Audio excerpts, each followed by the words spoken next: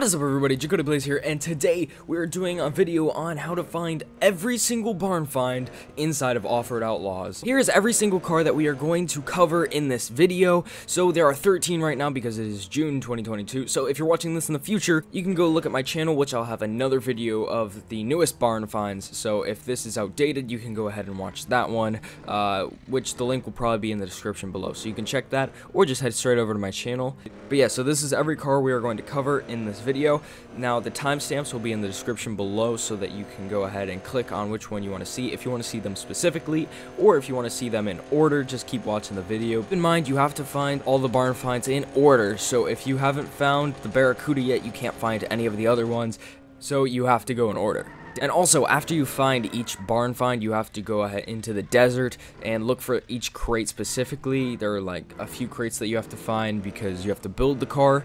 Uh, so just keep that in mind, you will have to do that. Or you can spend 500 gold on unlocking the car immediately. So it's really whichever one you choose to do. If you don't have the gold, you can go ahead and watch this video I made, which is how to find as much money as possible in a little amount of time. So that helps you get money really fast, so go ahead and watch that.